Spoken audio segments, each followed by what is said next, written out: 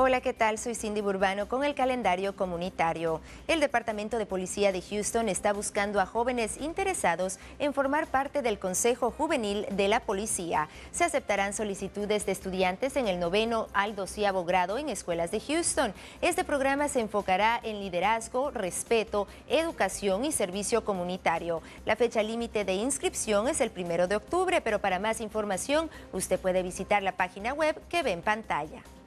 Me despido recordándoles que los esperamos mañana en su noticiero Telemundo Houston a las 5 a.m., seguido por Breves a.m. en punto de las 6.26. Recuerde que juntos somos Telemundo.